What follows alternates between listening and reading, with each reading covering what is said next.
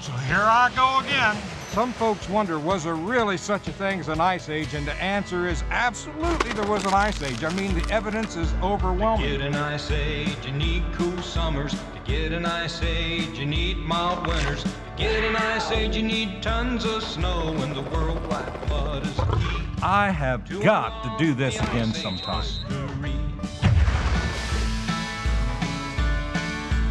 Get an ice age, you need tons of snow, and the worldwide flood is the key to unlock the ice age mystery. Whoa, watch out. Well, hello, everyone. Um, today we're going to be talking about Noah's Ark and the flood. Science confirms the Bible. And I am Georgia Purdom. Um, I've been here at Answers in Genesis for almost 14 years. Um, I have a PhD in molecular genetics, and I work here as a scientist, writer, speaker, and director of educational content. So it's my pleasure to welcome you, uh, to welcome our online audience today. Well, several years ago, as probably many of you know, um, Answers in Genesis opened our newest themed attraction, which is the Ark Encounter. So I'm going to play a short video. I hope many of you have already visited. Um, and if you haven't, I hope that you will consider joining us this summer. So let's take a look.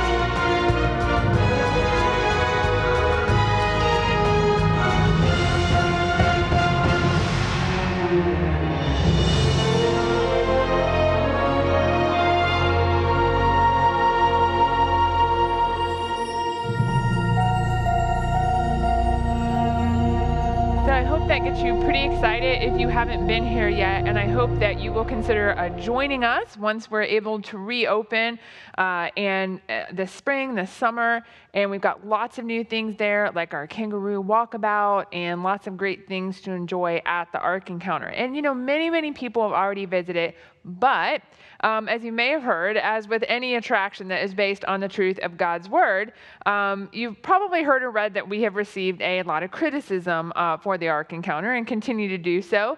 Uh, these are just a few of the headlines that I grabbed um, from the first year that we were open. Uh, Ken Ham's Crazy Ark Park. So, Ken is the CEO of Answers in Genesis that built both the museum and the Ark. Uh, five things Kentucky could spend $73 million on instead of a fake Noah's Ark. Now, here's the thing, right? This is a totally privately funded venture. Right? So it was totally privately funded. So we see a lot of these headlines that are just basically espousing fake news. And then Bill Nye, the science guy, visited a Noah's Ark he doesn't believe should exist, and many more. And so that's just, like I say, a small sample of the articles that have been written decrying the Ark. Because to many people that are not Christian, um, spending $100 million to build an Ark um, doesn't really make any sense, right? Because they don't believe the Bible is true. So this, this account in Scripture is not true. So why would you do that? And, and I can understand um, that non Christian Christian, so to speak, perspective.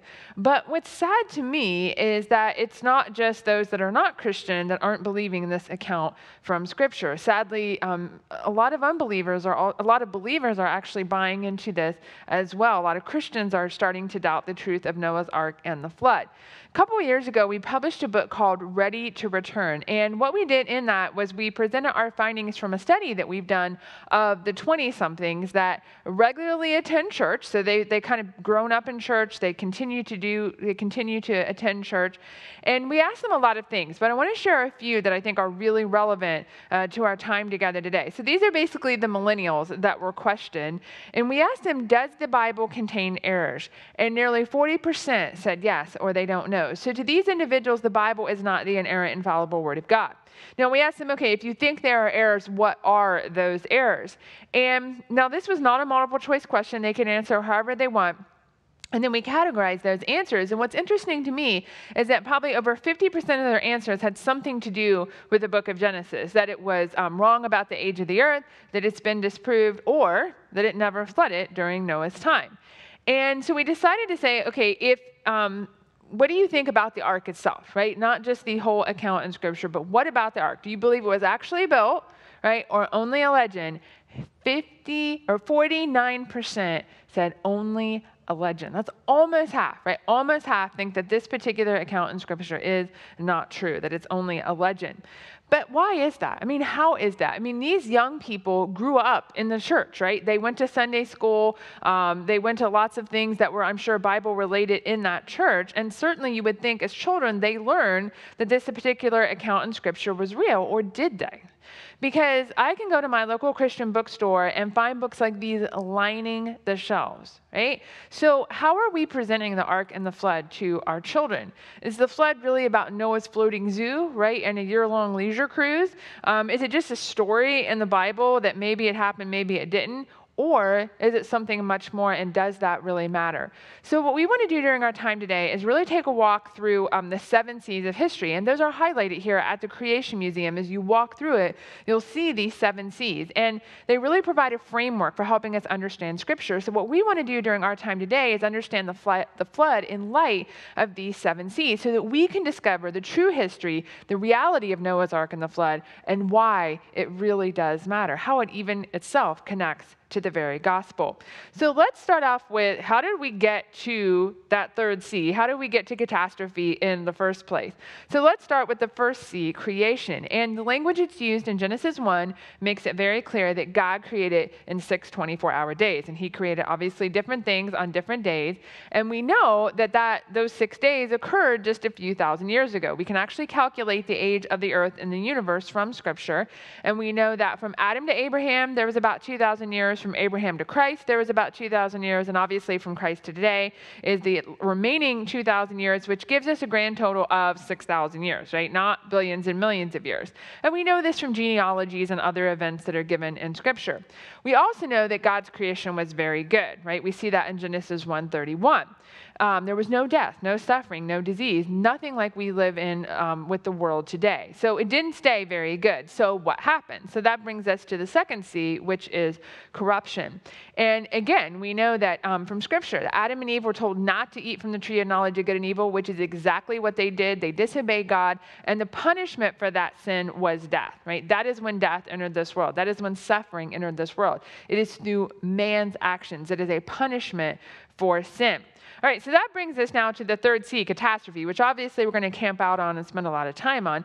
So this is about 1,500 years after creation, right? And in one simple verse, I think the Bible really sums up for us the horrible and tragic effects of Adam's sin. It says, And the Lord saw that the wickedness of man was great in the earth, and that every intent of the thoughts of his heart was only evil continually. So, as bad as we might think things are today, they were officially worse then, right? Because only Noah and his family, um, only Noah was found righteous. Only he and his family were on the ark. Um, every everyone else was, you know, thinking evil continually. And so while God would punish that evil, obviously with a global catastrophic flood that would destroy humans and animals, He would save Noah and his family and some of the animals in the ark. Now, in my experience, um, there are really three big questions that people have, or three big areas that people have questions in when it comes to believing the reality of the ark and the flood. So, we're going to look at those three big issues. We're going to look at the ark, which is obviously a big issue in and of itself because the ark is so big, um, the animals, and then the flood. All right, so let's start off with the ark and let's ask the question how big was the ark? Now, a lot of us have become accustomed to looking at images like this one, and we call these bathtub arks or fairy tale arks. And so we think that this is how, you know, we tend to think this is how the ark looks, because that's just what we're presented with over and over again. And, you know, the world mocks Christians. They say, oh, how can you believe that the flood and the ark was real? Okay, how can you believe that? We help those unbelievers when we show them pictures like this, right? It's no wonder they're making fun of Christians for this. Because if that's how they think we think the ark looked, of course that cannot survive a year long catastrophic flood. That does make it a fairy tale. That does make it unbelievable. And that's the problem with it. And so we need to understand that because a lot of toys for children, as it relates relates to the ark and the flood look like this, right? They look very fairy tale like, very bathtub like. And so, what are we saying then to our children about the ark and the flood when we show them images like this, when we let them play with toys like this? Because I always say it's not like we don't know, right? How big the ark was. I don't know why people keep making it like this, um, because they're not accurate portrayals based on the dimensions that are given to us in Scripture.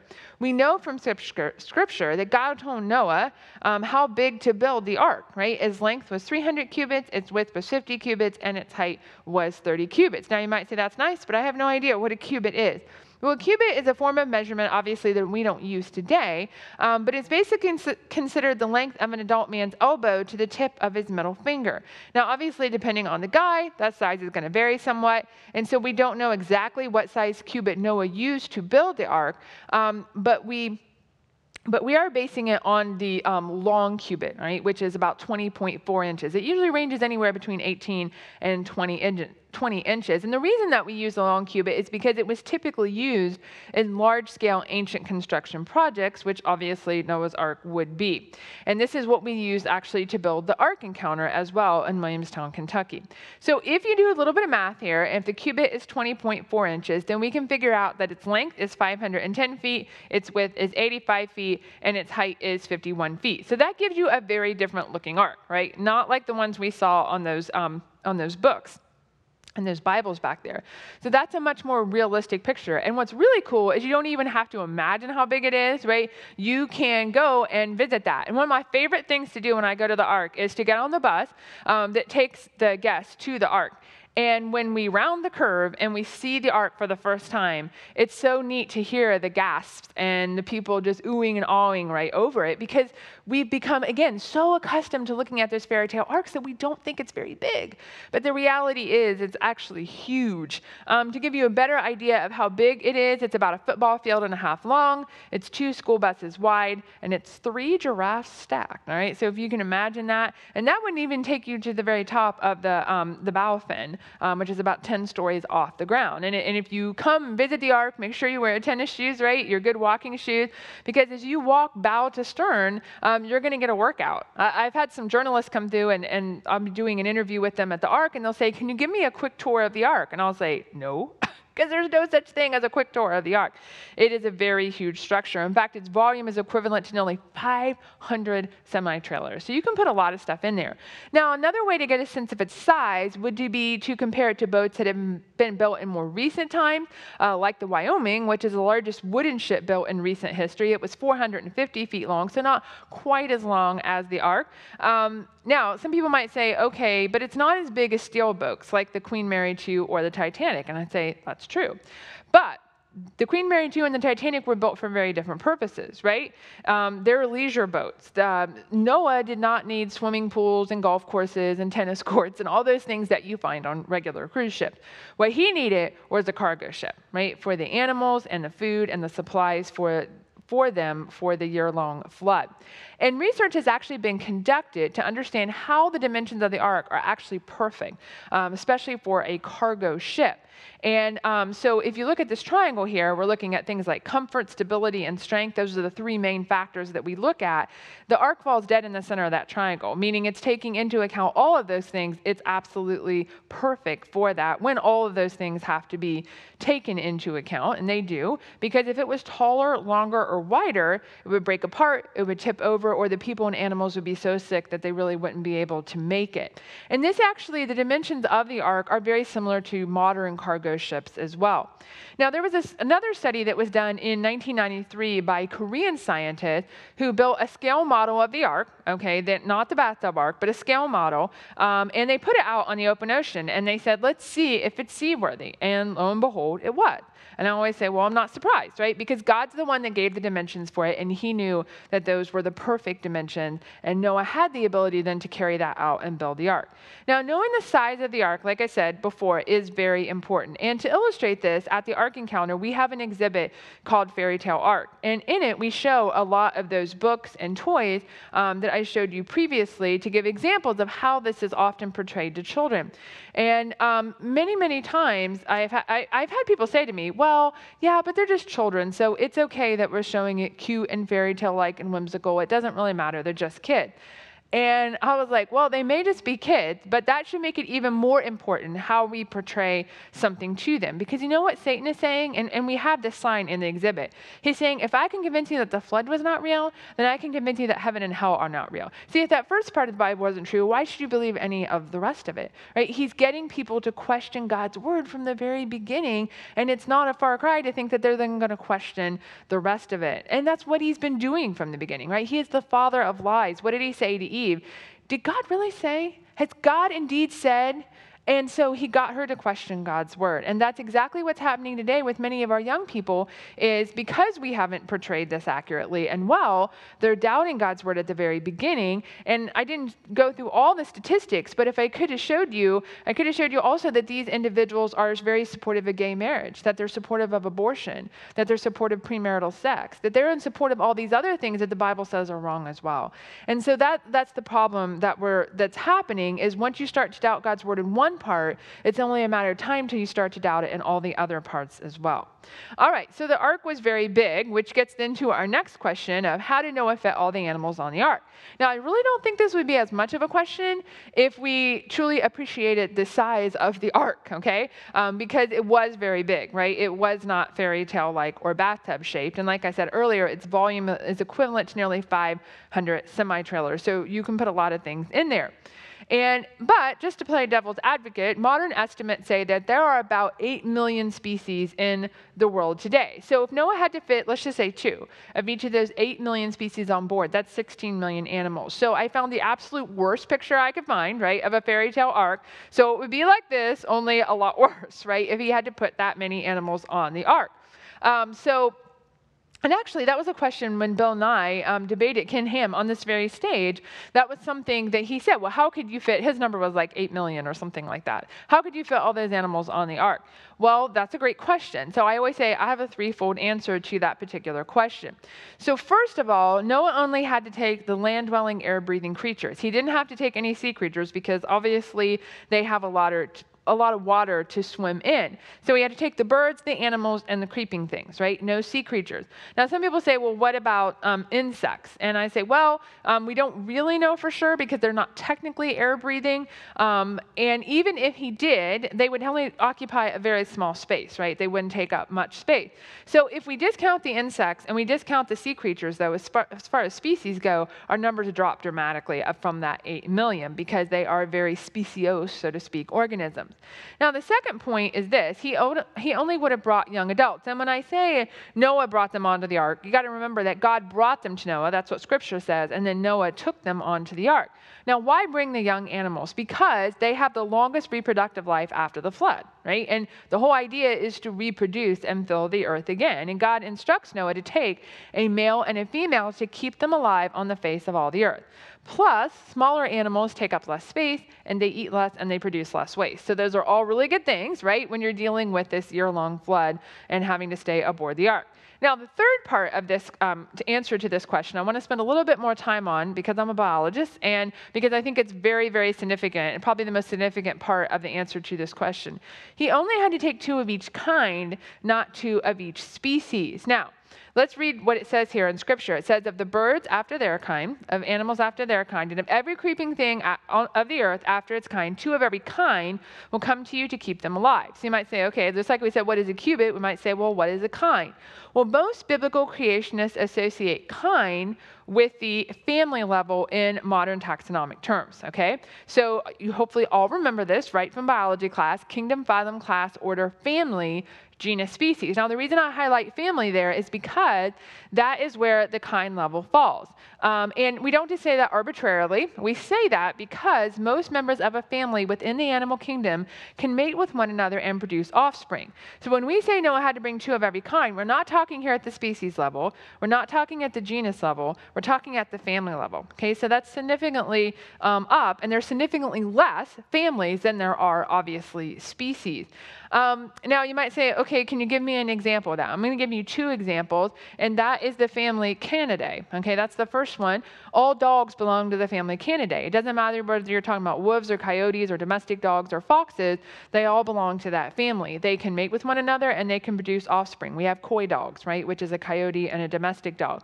The same is true for the family Felidae, okay, um, and that's the cats, right? So it's the cat family. They can mate with one another and produce offspring. So we know that. Now, we have this really great example here of um, within our zoos of uh, how this works, basically, and that is our Zorse and our Zonkey. Now, when you first look at them, you might think, what animal is that? It kind of looks like a combination, which is a which is a really good way of, of looking at that. It's what we call a hybrid.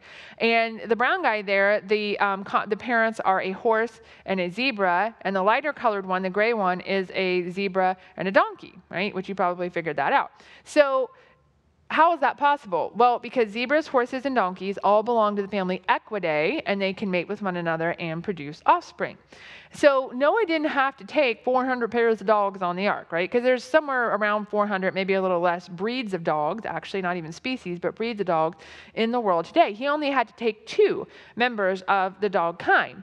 And God obviously would have brought those to him. And from those two dogs got off, got off the ark, they multiplied and reproduced and multiplied and reproduced and multiplied and reproduced until eventually you get lots of dogs, right? And that's where we get all of the dog species and breeds that we have today. And it doesn't matter what kind of dog you're talking about, whether the foxes or the jackals or the bush dog or the dhole or the coyote or the wolf or name your favorite breed, right? Um, they all have come from those two dogs on the ark. Now, some people are saying, whoa, wait a minute. You're saying that all the dogs we have today came from just two dogs that are on the ark. That seems like a lot of change in just a short period of time. I thought you didn't believe in evolution, right? That seems like a lot in just a few thousand years. All right, so that's a good, that's a valid point. So let's talk about that. One of the things we need to realize is that most breeds of dogs that we have in the world today have only come into existence in the last 500 years, right? Just a few hundred years, we've gotten all these breeds, just under 400 breeds of dogs that now exist um, in the world that seems like a lot of variation, right, in a short period of time um, that we can get. So, for example, if we were to look at the Great Dane and the Yorkshire Terrier, right? They are the same species, but they look very different, right? One is very big, one is very small, one is very fuzzy, one is not, one has its ears up, one has its ears down. And so they look very different, but they're actually the same species, Canis lupus. Now, if we were to look at the wolf and the coyote, they actually look very similar, right? Very similar. The ears are the same almost. Um, they have very similar coloration. The face is very much the same, but they're actually different species. Right? The wolf is Canis lupus and the coyote is Canis latrans. So they're completely different. So here's the thing. If in 500 years, all right, we can get variation that ranges everywhere from a Great Dane to a Yorkshire Terrier, certainly in a few thousand years, right, we can get all the species of dogs that we have in the world today, right? Because they're not really all that different. I think there's only about 35 species of dogs total in the world today. So 35 species in a few thousand years is not hard to get, right? Especially when a lot of those species still look very similar to one another. So in order for that to happen, we would say that there has to be a lot of genetic diversity already in those dog kinds, right? Because you can't get that through mutation and natural selection. Not that much in that period of time. So God created the dog kind with a lot of diversity, and then we see that diversity expressed not only in the wild through things things like natural selection and other mechanisms, but even in captivity, right, where we breed dogs a certain way, what we would call artificial selection. So, um, back before we were going to build the ark, several creation scientists, including myself, got together and kind of determined what criteria we were going to use and how we were going to figure out how many kinds there were that had to go onto the ark. And we published a lot of papers on this, and you can find those freely online in Answers Research Journal. We also have a couple books that I'll show you at the end that have all of those in them.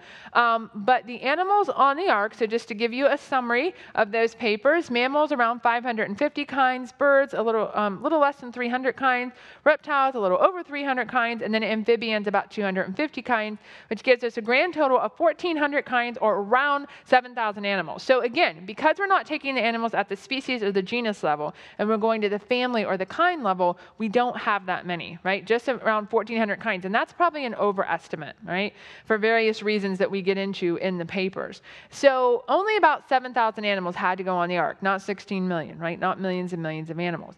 And that number fits very well on an ark the size that obviously the Bible described. But do you know what animal I get asked about most when it comes to the ark? Now, once in a while, some people say unicorn, and I always say, well, you're going to have to check out the ark for that because we do talk about that there. Um, so check that out. But were dinosaurs on the ark, right? Dinosaurs are the number one question that I get. And I say, of course they were, right? Because it says of every living thing of all flesh, animals after their kind will come to you to keep them alive. Now, dinosaurs are not a problem to have on the ark because we all have watched way too much Jurassic Park and Jurassic World, so we think that these dinosaurs are gargantuan, right? We either think they're really big or they're really little, and everyone knows the really little ones will get you in the end, right? So, um, so anyways, but we have this idea, right, that they're just massive, but a secular scientists as well as creation scientists have done studies on this, and the average size of a dinosaur is that of a buffalo, right? Not not really big. I hate to burst your bubble on that, but most dinosaurs were not much taller than I am, okay? So they were about the size of a buffalo. Now, Noah would have taken, and obviously God would have brought to him juvenile dinosaurs, right? Not dinosaurs that were at the end of their life, that were maybe massive as a result of living for so long, um, because the juvenile ones are going to have the longest reproductive life. So Noah was not trying to do this, right? This sauropod, adult-sized sauropod, is not going to fit through the door. Now, he'll fit once he gets on there, but it might have a problem getting through the door. But the young ones won't, right? Everything starts out small, including dinosaurs, right? The largest dinosaur eggs are about the size of a football. So it's not going to be a problem to take them. Now you might be thinking, okay, that's nice, but what did T Rex eat? And um, because he's a carnivore, right? That's what everybody thinks about T Rex. Well, I think there's two possibilities. The one I favor the most is that they probably just ate a vegetarian diet. Remember, this is not about what they want, it's about what they get. And they they are only supplied with certain things. There are known carnivores today, like lions and such, that have refused to eat meat, and they have survived just fine on a vegetarian diet. So it is possible. I know my dog likes to eat fruits and veggies, so they can survive on that type of a diet for especially since this was only for a period of time. The other possibility is if they absolutely required meat, that Noah could have taken some form of dried meat. There's only about 60 to 80 dinosaur kinds that we estimate, so you're talking less than 200 organisms total that had to go on the ark. So this is a few of those dinosaurs. This is the stegosaur kind, um, and we show a few representatives of those on the ark. This is the sauropod kind. And again, these guys are going to grow up right here to be some of the biggest land animals on the planet, but they start out small just like everything else. All right, so we've talked about the ark, we've talked about the animals, and now we want to move on to the flood itself is there evidence of a global flood? Because let's face it, if the flood, if there was a flood that covered the entire world, um, there should be some uh, geological fossil evidence in support of this. Now, some people have been told, some Christians, that well, it wasn't a global flood, it was a local flood, right? That only covered a certain area where Noah lived. And the reason that that idea is promoted is because people have bought into the idea of evolution in millions of years. So if that's true, then that's what the fossil record is a description of. It's not a description of the flood. So in order for people to still try to keep some of the accounts in Scripture, like the flood, they'll say, well, it was just a local one. It wasn't one that covered the entire world. But here's some basic questions we have to ask ourselves if the flood was local. First of all, why did Noah have to build an ark then? Because he could have just went somewhere that the flood wasn't, right? Um, secondly, why did God send animals and birds to the ark? Because he could have just sent them wherever the flood wasn't. um, so it seems like a lot of time and effort and energy would have been spent to do this and a lot of stress on the part of the animals if it wasn't really necessary, right? So Uh, so those are just two basic questions. But the third question to me is probably the most meaningful, and it's this. So when God put the rainbow in the sky, he said, I will never do this again. Right? He will never flood the world again. So my question is, have we had lots of local floods since Noah's time? Absolutely, right? Um, I don't live very far from the Ohio River, and it will flood the roads at times, right, and make it challenging to get to work. So that's just that's how that's how it is in this world. So if God said He would never do it again, and it was a local flood, and there's been lots of local floods since Noah's day, then the only conclusion we can draw is that God's broken His promise right? And we know we know God can't do that because God doesn't lie. Scripture tells us that. He doesn't break his promises, he keeps them. And so that's a problem. And over and over again, there's no indication from scripture that this was a local flood. It talks about all flesh, earth, all flesh, everything that is on the earth shall die. I don't know how you get more descriptive than that, right?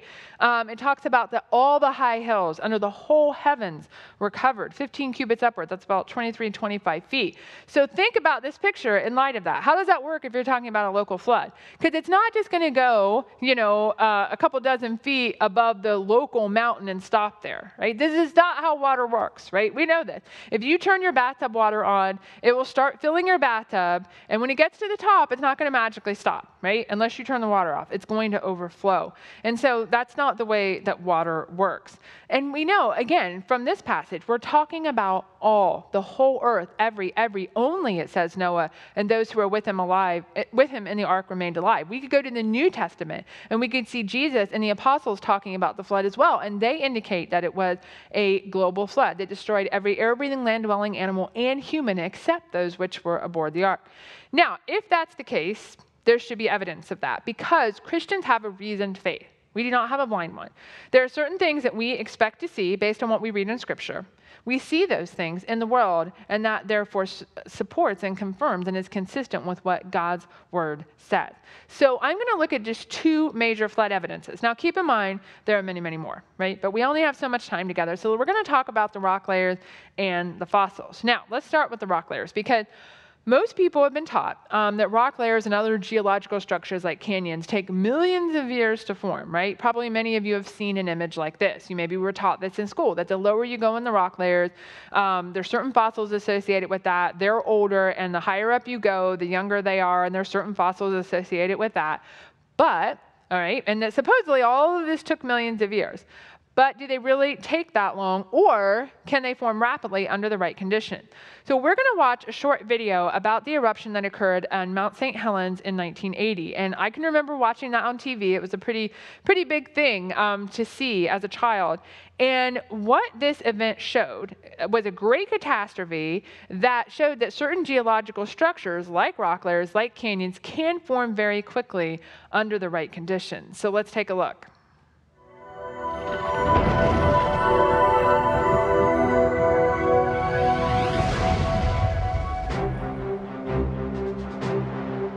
On May 18, 1980, Mount St. Helens, located 95 miles south of Seattle, Washington, erupted. The eruption was triggered by an earthquake centered beneath the mountain that measured 5.1 on the Richter scale. The lateral blast swept out the north side of Mount St. Helens at 300 miles per hour.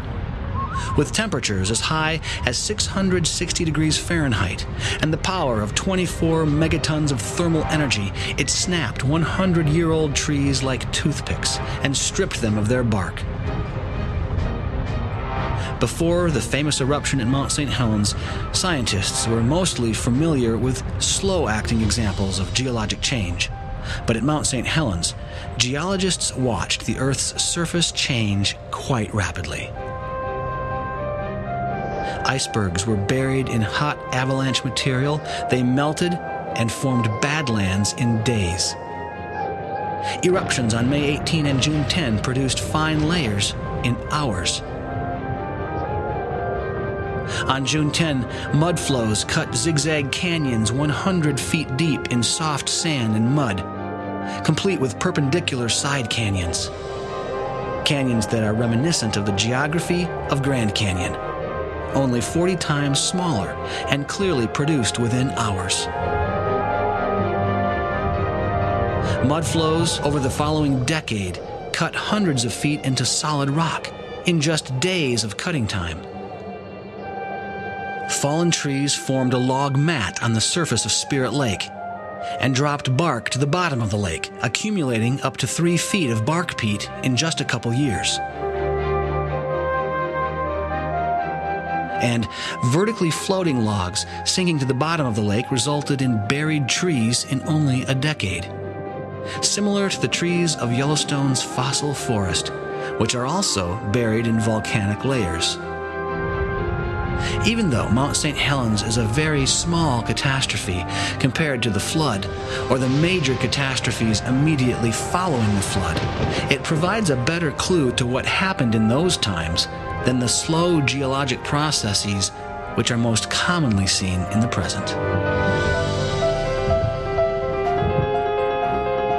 Okay, so what did Mount Helens show us? That a lot can happen in a short period of time, right? When you have the right conditions. They talked a little bit about these rock layers, and you can see the person at the bottom there for an idea of how big we're talking about here. Those rock layers, right, were formed as a result of an eruption in just a few hours. They were laid down in a few hours. It didn't take millions of years, right? We know because we were here to observe that. Um, they talked a little bit about this canyon. It's actually called Engineers Canyon or the Little Grand Canyon. It's 140th the scale of the Grand Canyon. This was from a subsequent eruption of Mount St. Helens. So the, the rocks themselves there had been laid down in previous eruptions. And then an eruption in 1982 actually formed this canyon, right, gouged through it. That was formed in nine hours. Right? It didn't take millions of years, it just took the right conditions. So it's great observable evidence that you don't need a lot of time, you just need a catastrophe. And certainly the Noah's flood was a catastrophe. Now, there's a river that runs through this canyon today, and we know for a fact that that little river did not make that canyon, right? Because we were here to observe it in the present. Well, I'm going to tell you the same is true if you visit the Grand Canyon, right? That little Colorado River there did not make that canyon. Um, just one example of the reason for that, that it didn't, one evidence of that is if it had over millions of years, the rock layers would not be really steep, right? They would be eroded away and they would be laid back more, but instead they're very steep, which is indicative of the fact that this was laid, this was carved out very, very recently, probably shortly after the flood and the layers being laid down during the flood. All right, let's move on to talk about fossils. And I want to talk about one of my personal favorite fossil finds, which is the fact that we find soft tissue in dinosaur bones. And when I say soft tissue, I mean soft tissue. Um, we find proteins, we find um, cells, we find uh, tissue material like we would expect to find in these structures. Um, and so this just shows you a picture of that. This is actually a, a T-Rex bone. And what you're seeing there, sort of the long tube-like structures, those are blood vessels because bone is very vascular, has a lot of blood vessels. And the little dark red things inside the bone, inside those tubes, are red blood cells. And, it, and some people might say, well, maybe it just looks that way, but it really isn't that. Nope. They've done protein analysis, and they know that they're finding exactly what they would expect to find if these are blood vessels vessels and if these are red blood cells. So this is legit, so to speak. Um, and they've done numerous tests, numerous labs have done this to really show that this is, this is really what you're seeing, the soft tissue there. Um, and this picture kind of gives you an idea of it, and, and it's stretchy, it's flexible, it bends. Uh, I did a lot of work with bone for my graduate studies, and so I've seen what fresh bone looks like. This looks like fresh bone, but it's actually out of a dinosaur bone that's supposedly 65 million years old. Now, here's the thing from my experience as a geneticist and working in the lab, I know for a fact that things like DNA and proteins and tissues and cells, they don't last very long, um, especially under non-pristine conditions because they just, they start to break apart, they start to break down. So how is it that these things are in the condition that they're in?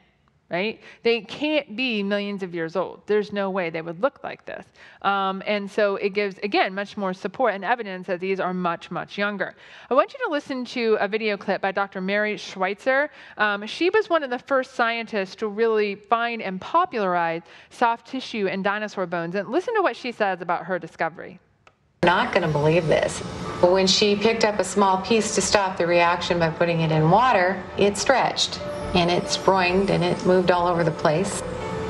So we knew we had something pretty unusual.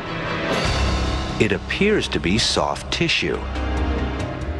When they look at neighboring parts of the bone, they're even more surprised. Out popped the blood vessels, and they were pretty incredible. And I said, I don't believe it. That's not possible. We need to do it again and again. It's one of those just goosebump inducing scientific moments. That's all I can say. And I, they don't really happen very often. Blood vessels should not exist in fossilized bone. Many scientists believe organic molecules can't last more than 100,000 years. Yet Schweitzer's bone is 68 million years old. Or is it? Right? And I would argue that it's not, that what she's finding cannot be in support of that. Um, and notice she says, I don't believe it. That's not possible. You need to do it again. Right? She knew you that this type of tissue is not going to make it 60, no tissue is going to make it 65 million years. Yet that's exactly what they found. So what has she decided in light of this? Has she changed her mind? Does she think it's really only a few thousand years old? No right? Because this isn't about the evidence, right? It's about her worldview and our worldview in light of the evidence, right? And looking at the evidence. And she would say, well, we know it's 65 million years old, so lo and behold, it can survive 65 million years. And she's doing a lot of research to really try to figure out how it can last that long.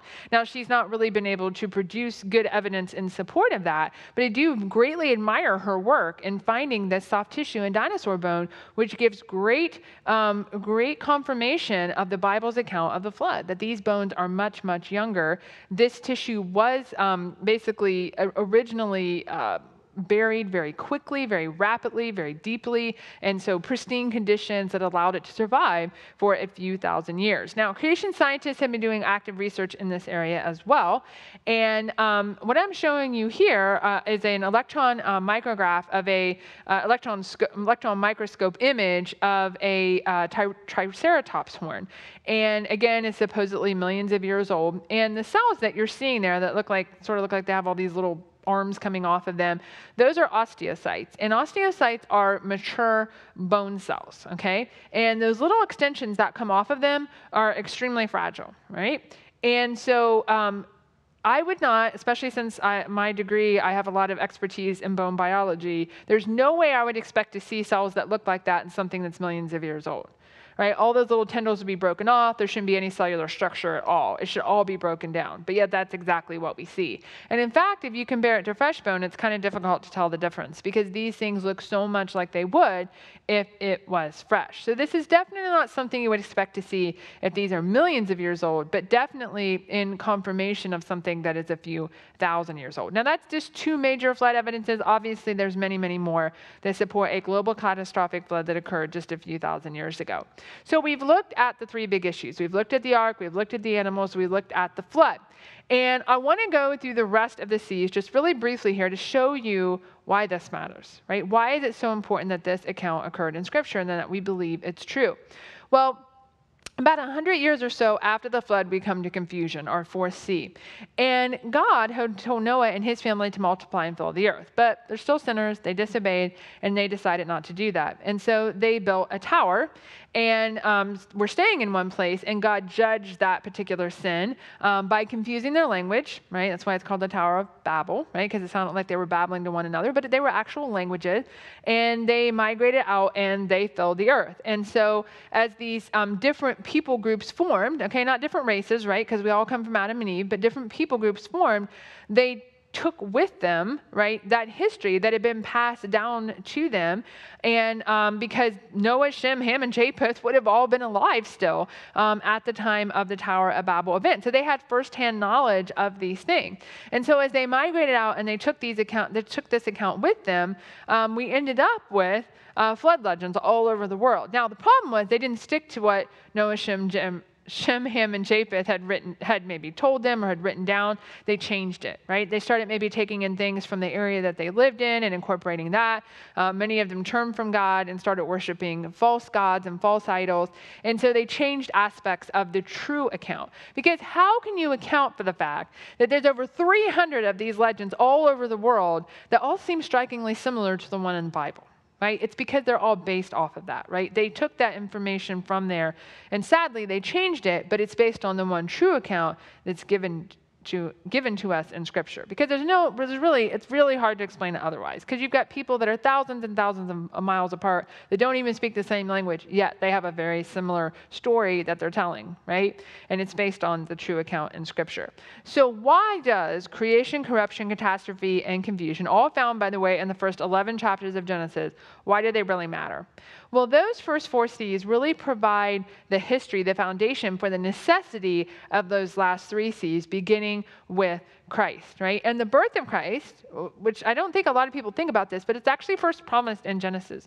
So, right after Adam and Eve sin, when God is cursing the serpent, who, who Satan obviously is in, he says this and I will put enmity or hatred between you and the woman, and between your seed and her seed, capital S. He shall bruise your head, and you shall bruise his heel. Right? So this is talking about Jesus Christ. He is the seed that would come that would crush Satan's head because he would have victory over sin and death. And he did that through his death and resurrection, his death on the cross and his resurrection from that. So Jesus' death and resurrection really fulfills that promise that was first given in Genesis 3:15.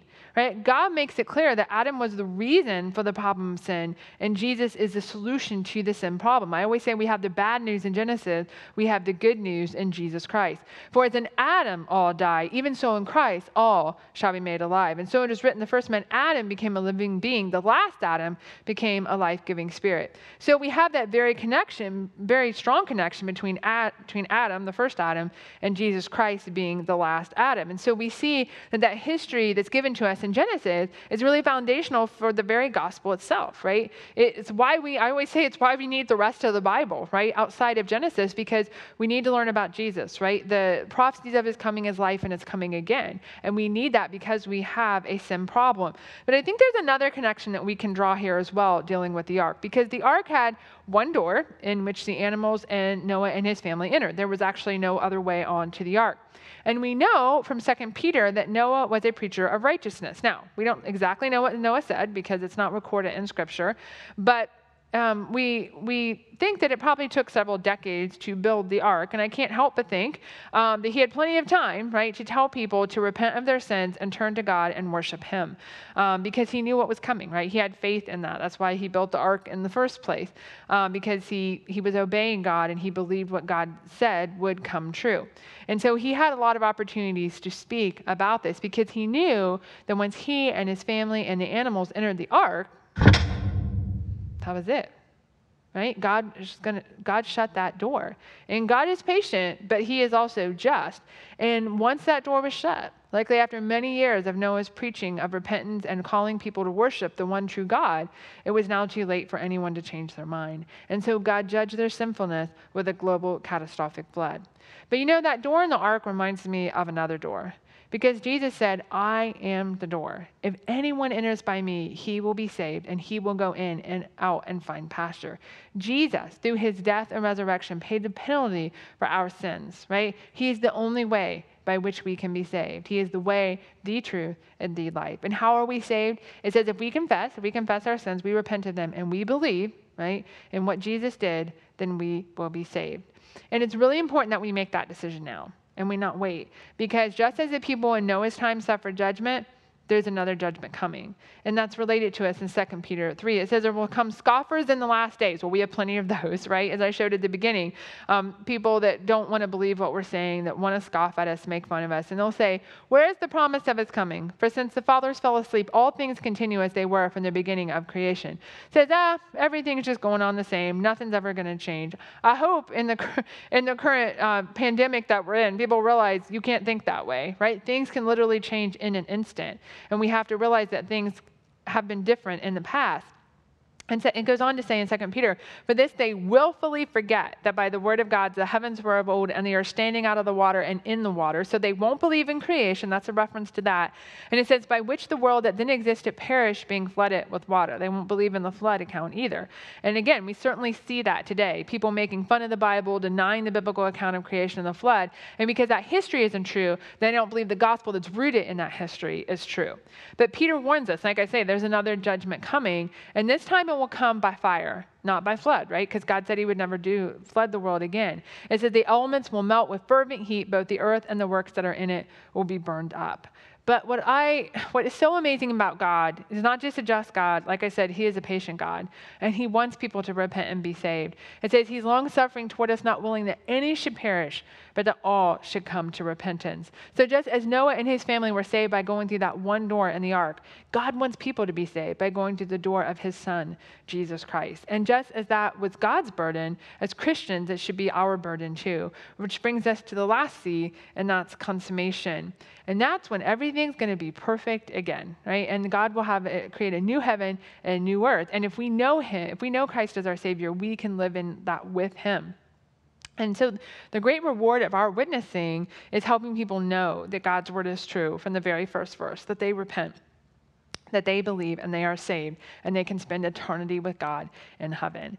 And I always say, you know, many times, obviously, I have an audience here um, at the Creation Museum or at the Ark, and I always say, you know what? I know for a fact that I'm going to heaven, and I want everyone who hears me to be there with me as well. I really do. And that's the same for everybody in our online audience today. So I want to wrap up with what I talked about at the very beginning of this presentation, and that is young people not believing in God's word. And that it's true, especially beginning in Genesis, because that's where a lot of the doubt starts, and then it just leads to many other things. It's a slippery slope. And um, Satan knows, Satan knows this. He knows that if he can convince young people that the Bible isn't true, that Genesis is not true from the very beginning, then he's going to get them to doubt the rest of it. And where does that questioning of God's word typically start for children? Well, um, many times they're going to ask questions of people, of their parents in their home, or the people in church, like their pastors and Sunday school teachers. So let's say little Johnny here, let's, we'll name him, he comes to Sunday school and he hears his Sunday school teacher talk about the ark. And chances are she'll show him a picture like this. Not intentionally. She's not intentionally leading him astray, right? But she is unintentionally. Because this is rampant throughout children's books for Christians, it's rampant throughout um, Sunday school curriculum. And he says, okay, that's what the ark looks like because he doesn't know any better. And he goes out there into the rest of the world the rest of the week, and he's confronted by movies and books and friends and family and TV, and they start throwing those rocks at that little ark, right, with all their questions. They say, Well, Johnny, where did all that water come from? I mean, covering the whole world, really? And come on, everyone knows all those animals couldn't fit on that ark, which I would agree they can't fit on that bathtub ark. But uh, the rock layers, everyone knows those were laid down over millions of years, right? Science has proved that. There's no way a global flood is possible. Everyone knows that Noah's flood is a myth. And why is it a myth? Well, Johnny, everyone knows that the Bible isn't true. And what happened to that ark? It's going down right? Because it can't withstand those questions. He doesn't know the answers. And so he goes back to Sunday school and maybe ask his teacher those questions. And he says, Well, what about all of these things? But she doesn't know how to answer them, right? She's not equipped. She doesn't know. And she says, Well, I don't know, Johnny, let's just go on to our next Bible story. Let's talk about Jonah and the big fish. Or, Johnny, just trust in Jesus. That's the most important thing. But you know what happened? As he gets older, right? He says, Well, you know what? If that story about Noah and the ark isn't true, how can a man live in the belly of a fish for three days and everyone knows that virgins don't give birth and dead people don't come back to life? He says, I don't believe any of it's true. And he walks away from the church. And that's what's happening, right? And so we need to stop it. I don't want to be all gloom and doom because there is an answer. There is a way to stop this exodus from happening, and that's to give answers that are based on the truth in God's word and to show these individuals science that supports that, history that supports that, archaeology that supports those things because we are commanded to do that, right? It says, But sanctify the Lord God in your hearts and always be ready to give a defense, an answer to everyone who asks you a reason for the hope that is in you. Because as I said, this is all about the gospel, right? It's tied to that, it's tied to the authority of God's word. We need to show them pictures of the ark that look like this. And we have plenty, plenty, plenty of resources. And I'll tell you about some at the end that will help you show your children and young people how the ark really looks. And, and like I say, this isn't just for young people, right? We all need to have this information. We all need to be equipped and ready to give those answers. We want to connect God's word to God's world. We want to help them know that they have a reasoned faith, not a blind one. And so we can answer their questions about how all the animals got on the ark and how the rock layers were laid down quickly and how fossils form quickly And you don't need a PhD to do this. I have a PhD in a, in a biological area, not in astronomy, not in geology or paleontology, but I can answer basic questions. And for those questions that go beyond that, then we've got scientists here that are experts in those areas, and I can refer them to that information, right? And they can get those answers. So they know that that account of the ark is true, and that account of Jonah is true, and that account of Christ is true. And I, you might say, well, why do you keep using the word account? Because I don't want to use the word story. Because most children associate story with something that is not true right, versus something that is. The, the definition of story has changed over time, and so we need to change our terminology as well. I call them accounts, events, history, right? I want to do that. I want to connect for those children the first four C's to the last three C's and help them understand the Bible is the ultimate authority no matter what it speaks on. I want to help them connect God's word to God's world and help them know that it does give them real history. We want to give them answers, right? So they go out there into the world and they're still going to be confronted by all those things, right? That's not going to change. We can't shelter our children. Um, and so when all those rocks come flying, so to speak, and all those questions come flying, they're bulletproof, right? They've got answers. They can give those. And having those answers means that they are much more likely to continue in the church, but be a very well informed Christian, a very well equipped Christian, and to pass that information down to the next generation and to leave that godly legacy. Because as much as I love talking about these things and love my job here at Answers in Genesis, one of the most important things I will ever do in this world is to raise a child that loves and serves God and lives for Him. Um, a lot else pales in comparison to that, almost everything else. So, um, so we need to be equipping ourselves so that we can then equip the next generation with those answers. So, how do we do that, right? You can't just listen to me for an hour and do that. I wish it was that easy, but it isn't. We need to get equipped and we need to know where those answers are in case we don't know, because we can't know the answers to everything. I can't, you can't, but we know where to get the answers to those things. So, I want you to sign up for a newsletter. I want you to go to answersinsider.com and do that right now, right? It's really easy to do. Um, you'll get a free download of Fire in My Bones, which which is the testimony of Ken Ham.